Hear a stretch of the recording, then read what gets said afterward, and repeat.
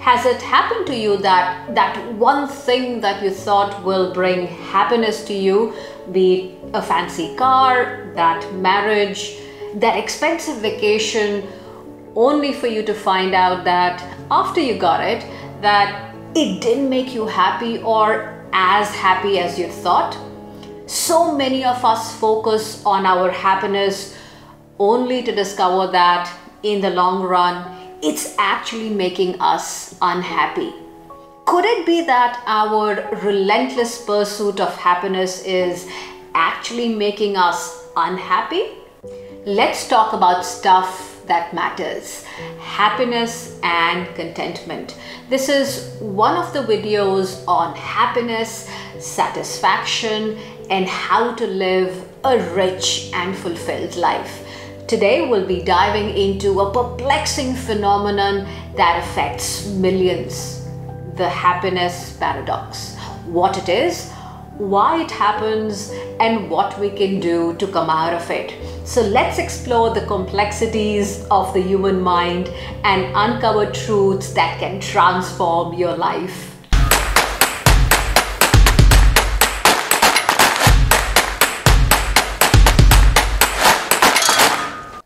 Hi everyone, my name is Aiena. I'm a flight attendant and a cabin crew trainer. Apart from travel, other topics that excite me are leadership, health, and wellness. Welcome to this channel. If you casually ask people what do you want in life, they say, I want to be happy.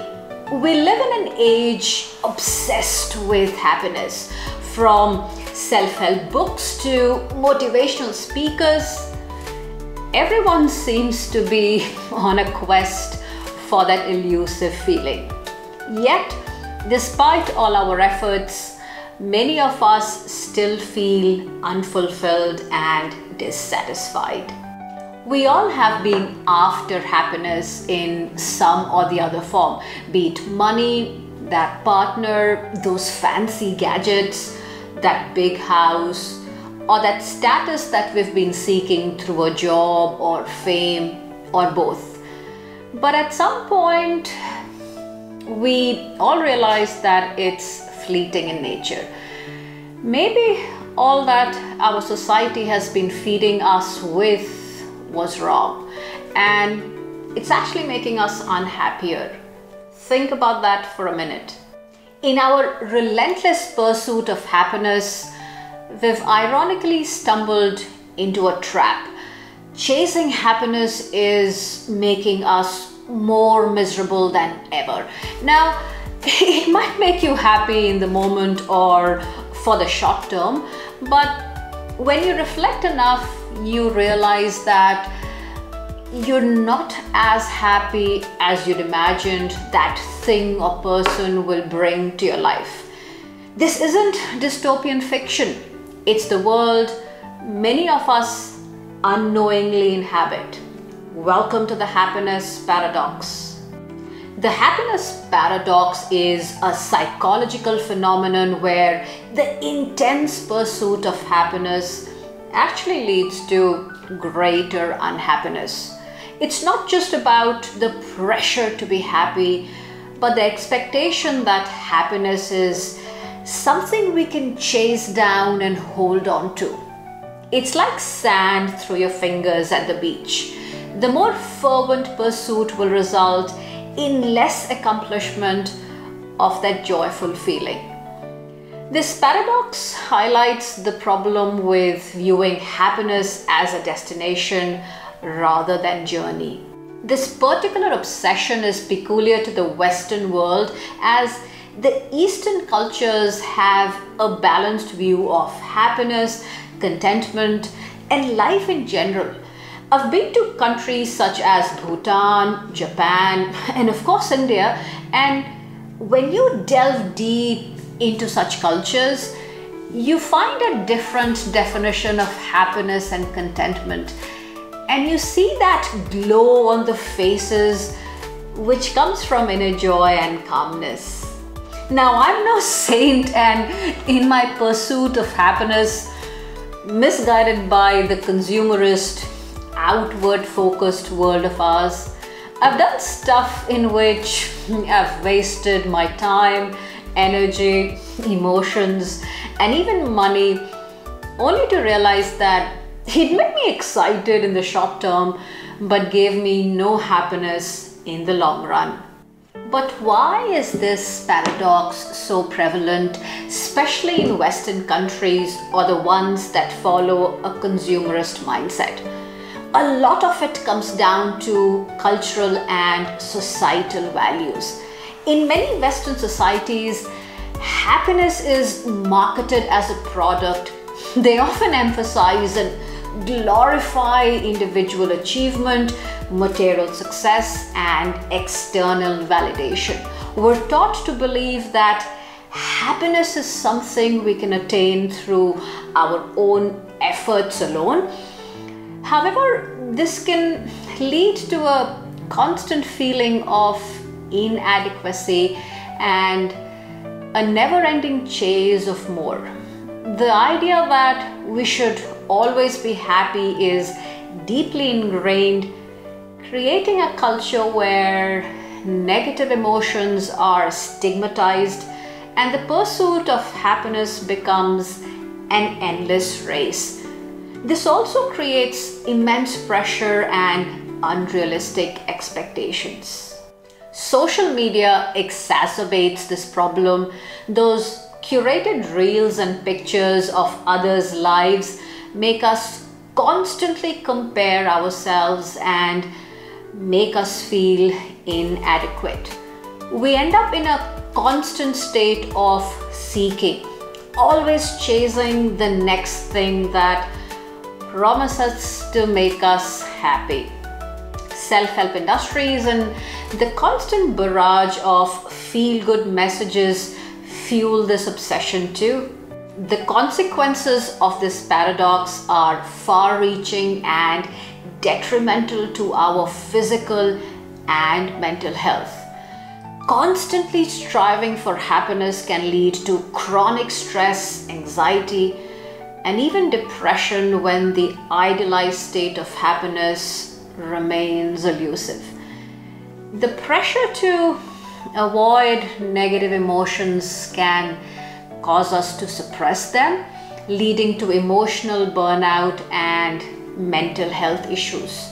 Moreover, this fixation on happiness can isolate us, making us feel alone in our struggles as everyone else seems to be happy around us.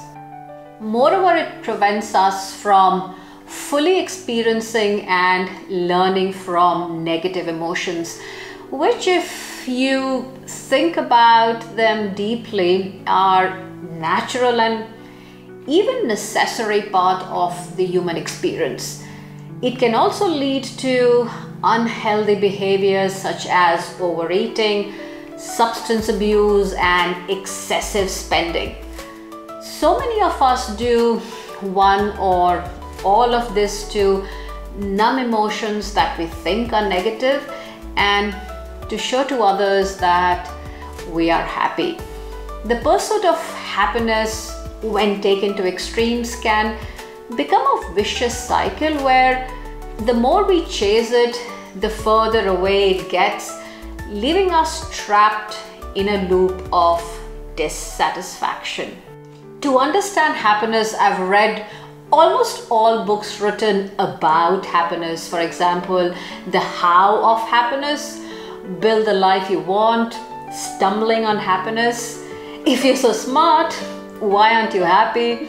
Authentic happiness, flow, one of my favorite ones, happier, and a lot more. And here are a few insights that I'd like to share so you break free from this paradox.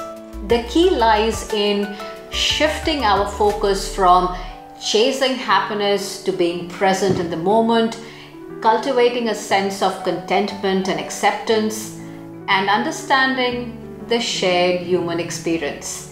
Let me expand on some of these strategies.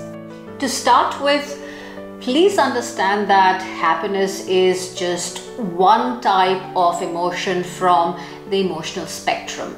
Maybe uh, I'll make a video on just emotions so that we recognize them as some of us might have a limited vocabulary for it.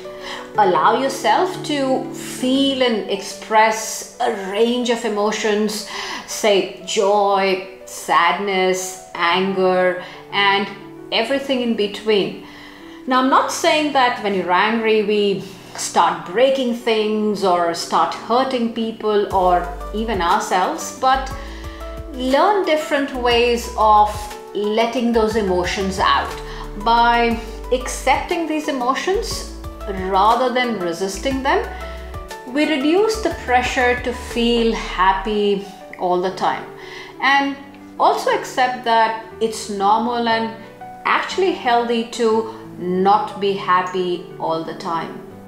Understand that happiness is a journey not a destination. So don't be pressured by society's expectations. For example, the amount of money you need to earn, get married, have kids, earn more to show to the world how rich and famous you are, and you know the list goes on.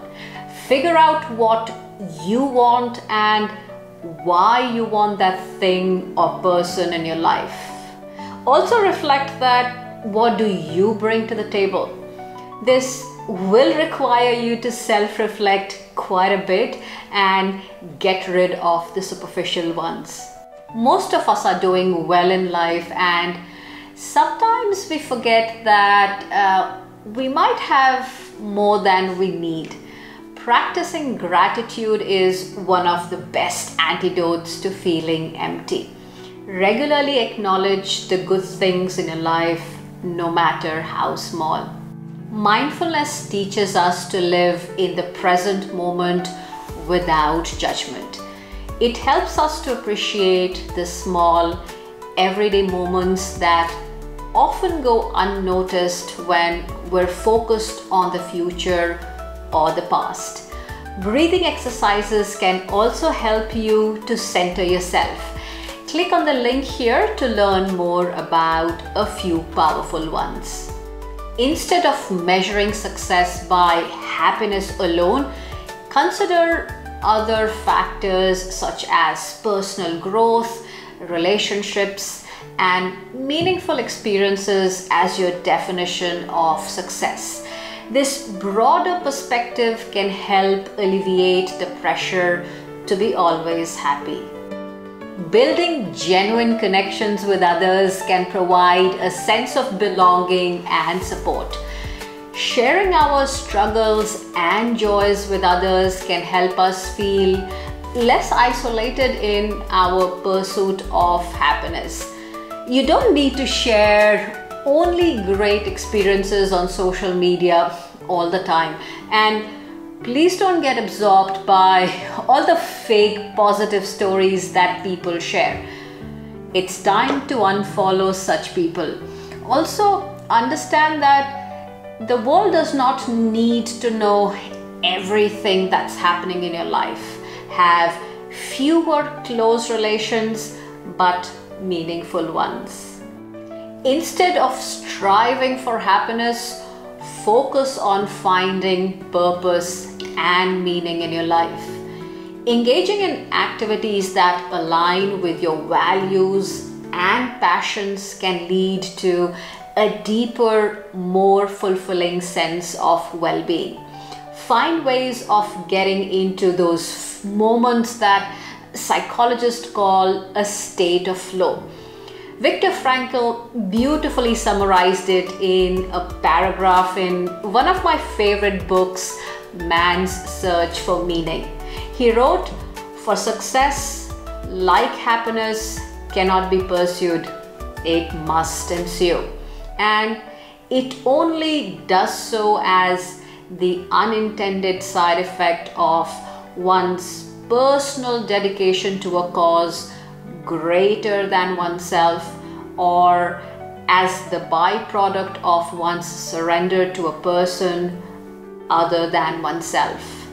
Happiness must happen, and the same holds for success. you have to let it happen by not caring about it. In the end, happiness isn't something to be captured or forced. It's a byproduct of living a life aligned with your true self where contentment comes from embracing the full spectrum of human experience.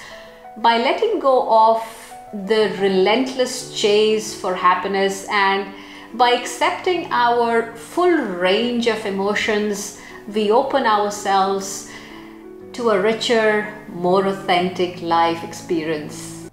Thanks for watching. If you found this video insightful, don't forget to like, share, and subscribe for more content like this.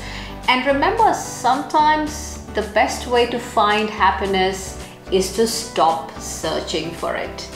On that note, till we meet again, Aiena signing off and may you stay mindful, stay curious and let happiness flow into your life naturally and effortlessly.